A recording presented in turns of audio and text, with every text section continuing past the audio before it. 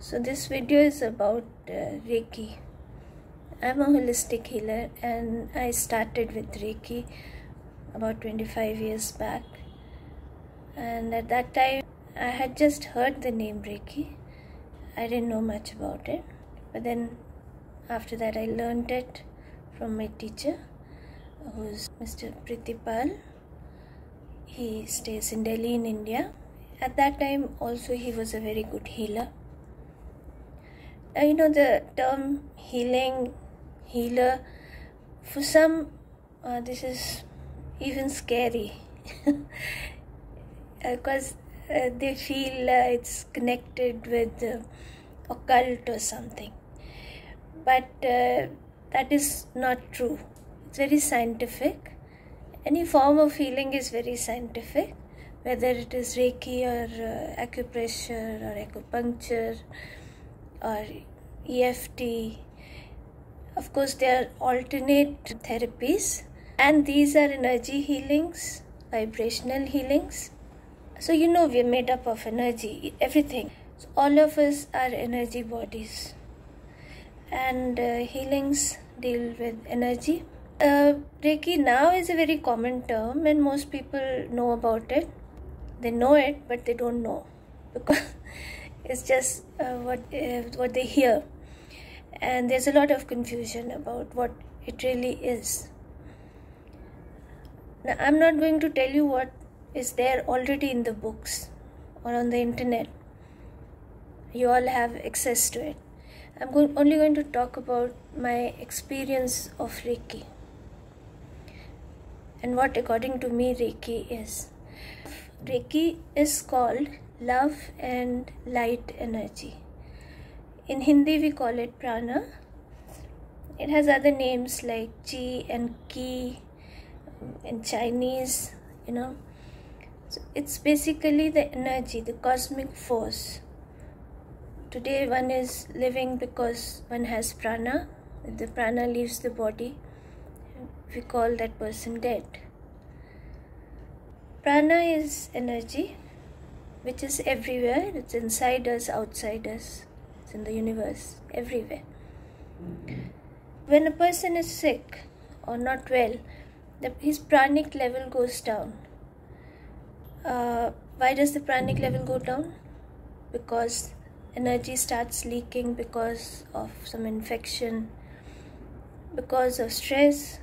Uh, it's like um, suppose uh, there is a bucket with a hole in it, and even if you have turned the tap on and water is filling into the bucket, but at the same time it is leaking, so the water can never overflow. It keeps filling the bucket but it keeps emptying it. The hole keeps emptying it. So when we are sick we are eating we're getting energy from the sun from the moon from other things food water but our energy is leaking because there is uh, sickness there is uh, some cause to it. People like us who learn reiki are called reiki channels. Rei means spiritual and uh, ki is energy. So it is spiritual energy or universal energy or cosmic energy. And we who learn it are called channels because we channelize that energy and we channelize it and pass it on to the other person so we begin reiki by asking the cosmic force enters through the head into our body and flows through our hands. It basically flows from the palm, from this area, and from the fingertips.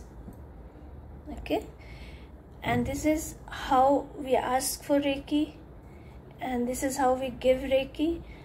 We can give it by touching a person. There are certain energy points, main points in the body we call chakras. You've all heard about it we clean those chakras, energize them because they are um, the main switches of our energy system.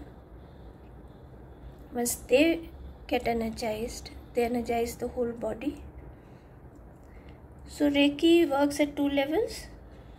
It cleans the chakras of any negativity. Negativity is nothing but, as we say, it could be infection. It could be some, uh, sometimes some kind of force, negative force, which has affected you. It could be your own thoughts. I think mostly it gets generated within us when we are worried, when we are fearful, or when we are thinking ill about someone that is when we generate negative force inside ourselves.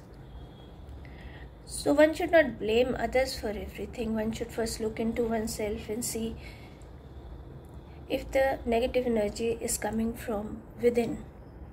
In any case, whether it is coming from within or without,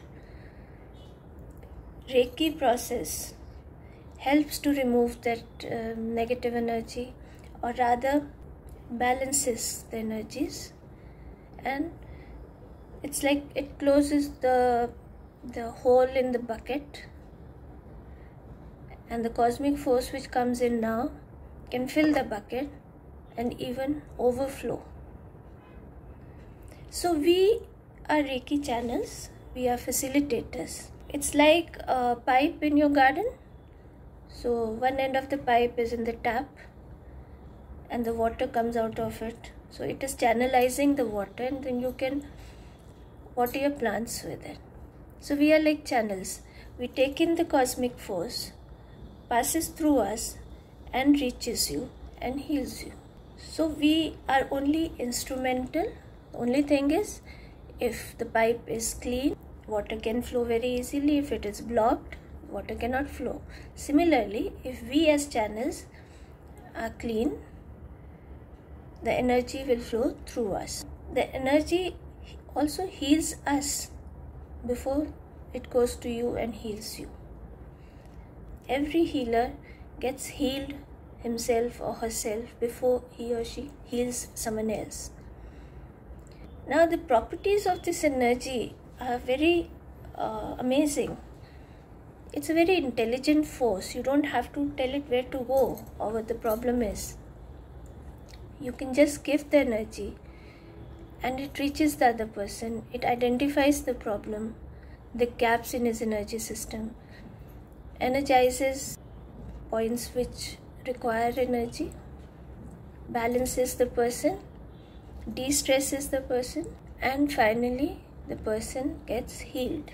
So healing means uh, bringing a person into balance centering a person normalizing a person. It can be a plant. It can be anything. People have tried Reiki on um, computers, on phones, on cars. There's so much more to learn about what Reiki is. It's an ongoing process. The more we practice it, the more uh, facts come out. I mean, it's it's a very mystical energy. From my experience, I can say this that the feeling the other person gets is of a lot of love. From my experience, I can say that when we give Reiki, the other person feels loved, cared for, and at peace.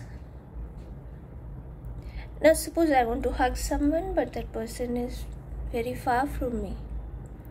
So I can just imagine that person and just send love through Reiki. And if a person is anxious or fearful, and it's like a prayer, you know, we pray for a person. Similarly, we give Reiki to a person, and the person feels loved, feels energetic. And uh, it's surprising how there are so many persons who are slightly psychic and they can tell you when they are being given Reiki and to the part that they are given Reiki. So, giving Reiki is also not a mystery. So, first we ask for Reiki and then we give Reiki.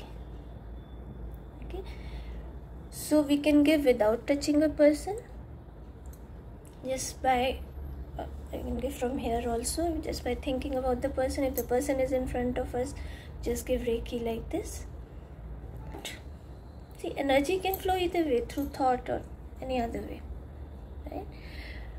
And uh, people receive it and feel better. So it has to be done, only then uh, you will realize uh, what it is and what impact it has on people. And they are very miraculous cures, which to you might seem uh, impossible, but uh, which all Reiki practitioners um, have seen, they've happened. Uh, so, in the first course, basic course, uh, we teach about the chakras and about what Reiki is. In the second course, we teach some symbols. There are three main symbols. The mastership course, which helps you to help others by teaching them about Reiki. So, now this is the theoretical part, but Reiki is not about theory, it's about experience. The more you practice, the more you learn. In the end, Reiki is a very loving energy.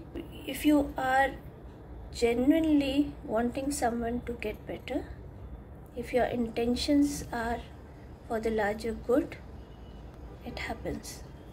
You are very powerful. Each one of us is very powerful. Our good intentions, our good thoughts, our positivity helps the people, helps the universe, helps nature. There's no limit to what it can do. You have to uh, experience it. When we learn the symbols we simply make them here in this part. And the energy magnifies with those symbols. And all the three symbols work at different levels. The first symbol works at the physical level second at the mental emotional level and third in the spiritual level if you're interested to know more please uh, write in the comment box and I'll know exactly what you would like to know about.